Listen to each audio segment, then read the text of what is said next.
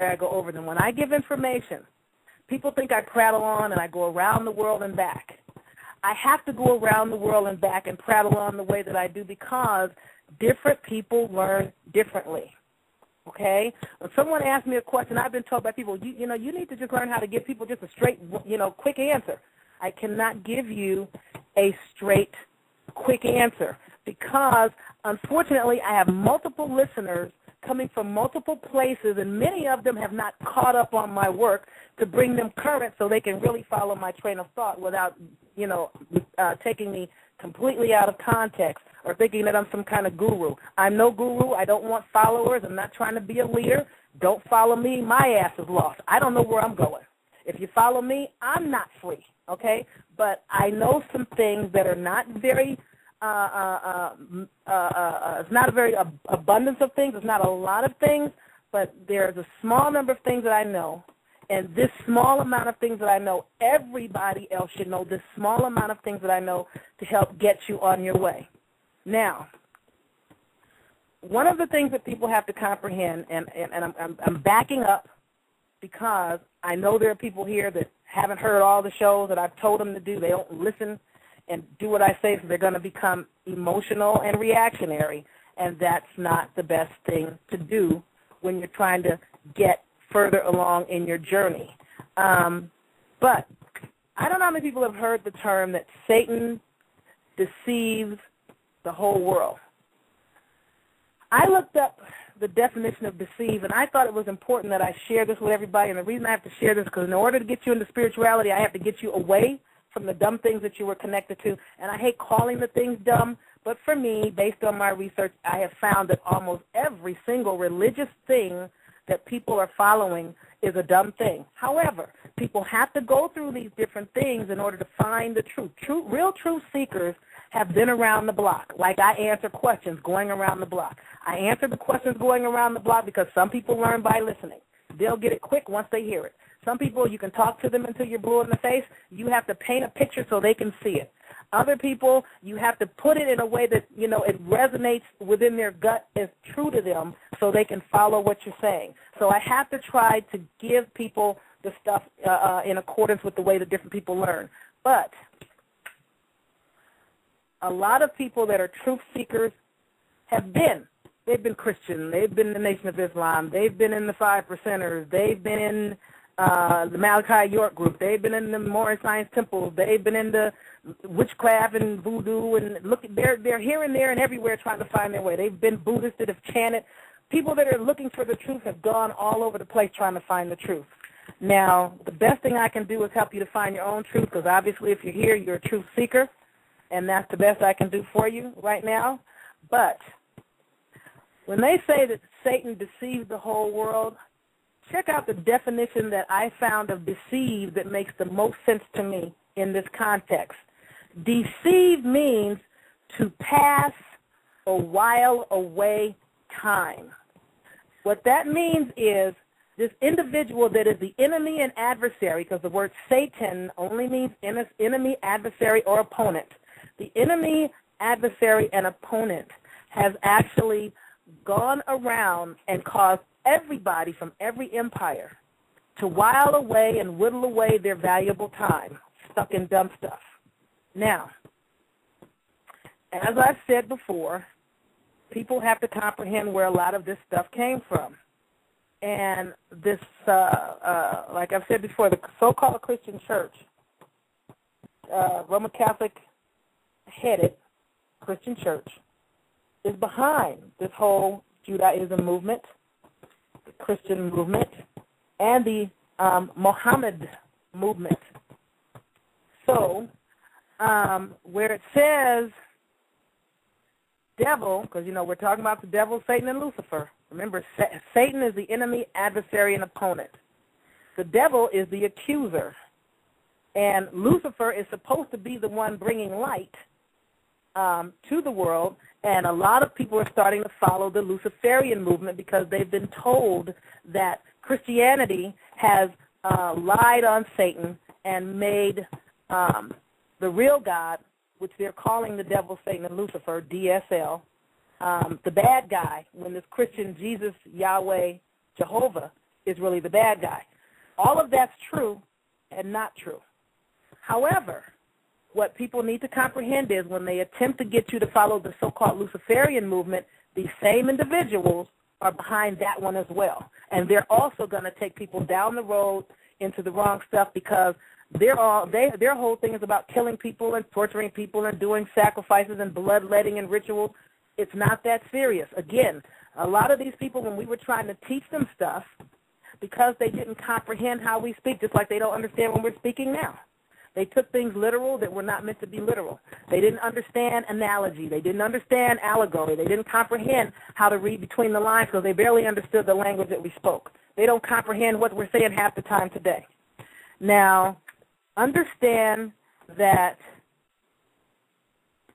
God breaks down to the word goat, G-O-T-T, or got, Gud, G-U-D, um, Goth G-O-T-H and Guth, G-U-T-H.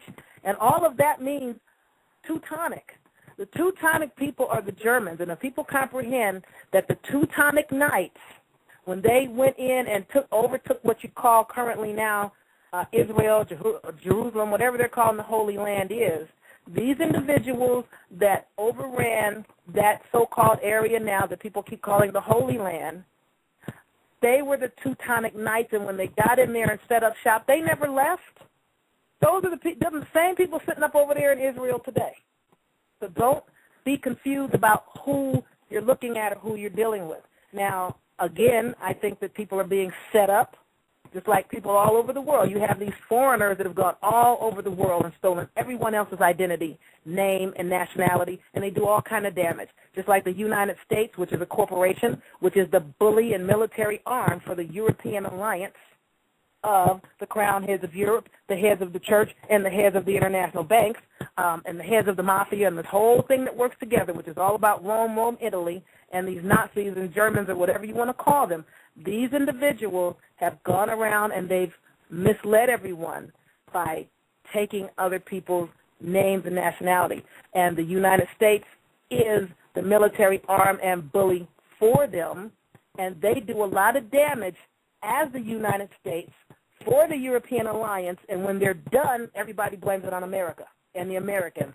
Well, the real Americans still think they're Africans, and the people that have naturalized as American or believe they're American because they're Irish American, Polish American, Japanese American, African, whatever they are, uh, Russian Americans, a lot of them don't have a clue what's going on either because here the media is controlled and the truth rarely gets out about what's really going on. And the people inside this salad bowl that's calling itself, the corporation calling itself a country, are the least informed people on the planet. And as a result, we don't have a clue what's going on. But if you comprehend that God and one of the names for God, one of the words for God is Jehovah, and Jehovah is the Jewish national name for God. But the, the word Jehovah means ruination and destruction and calamity. It's a perverse and wasome thing. Not to disrespect you, Jehovah Witnesses, but that's what this is.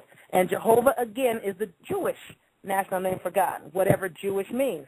But again, if you comprehend that the so-called Judaism was also one and the same with Judeo-Christianity, which is why it was called Judeo-Christianity, and everybody thinks the stuff is all separate now. It's not separate. These people that are Rome are this inbred family. And for them, race is everything because they are a race, because they have inbred through incest so deep and for so long that they have become this big little nation and empire, but they are a family that is a tribe, and tribe means inbred through incest. And those people, as a nation state of incested individuals, do have to deal with race and racism because they have the same set of parents. With them, race is everything because they are a race. You are the race of your parents. Like I said before, if your parents have two girls and a boy, those three children are the race of their parents and their parents are the stock of the, of the race. Now, um, understand this, that Goth means a member of a Teutonic people who invaded and settled in parts of the Roman Empire in the 3rd through the 5th century. Okay, now, um, A devil, um, remember I told you Satan meant adversary, for the record. And if you go into court, the district attorney is your adversary. Devil means the accuser. When you go into court, whoever's accusing you of something is the devil in court. So when you go to court, you're dealing with the devil, and you're dealing with Satan, and the judge is God. Because one of the definitions of ju- God is judge. So comprehend what game is going on there, and all the courts are co- courts of the church, based on my research. Um, but devil is, according to the Random House College Dictionary, a subordinate evil spirit at enmity with what you all perceive is the right thing or the appropriate thing that people call God, which is not one and the same with the mis- misuse of the word God. Like, you know, I know what people mean when they say black, but I know what the word means, but I know who you're talking about when you use the word. It is the supreme spirit of evil. It is Satan, an atrociously wicked, cruel, or ill-tempered person. And the reason I'm giving you guys this stuff is because you have to comprehend where we're going with this whole energy thing. Now, one of the things that you need to know when you're dealing with um, your energy and your um, wielding of power, because I'm going to show you how to wield the power that you are. Um, and as I said before, one of the fastest ways to acquire power is by uh, breathing. And breathing is also one of the primary ways that your body eliminates the vast majority of its waste. It eliminates waste through pers- perspiration, lots of waste. It, it eliminates a small amount of waste through urine and feces and fecal matter. But most of the body's waste is, is, is lost through breathing. So people need to learn how to breathe more um, in tune with the omniverse and the omniversal forces and get out of the breathing like a beast, uh, which is short, shallow breaths. And most melanin-rich people can barely catch their breath because these people don't give you an opportunity to breathe. Now, um, the reason I gave you this information about who and uh, all back in the day, who Rome was, the Catholic Church, the Christian Church, and Muhammad, and all this other stuff, is I have to get you away from that to get you where you're trying to go. And where you're attempting to go is with to the power that is within yourself. All of your power and what people call magic is within yourself.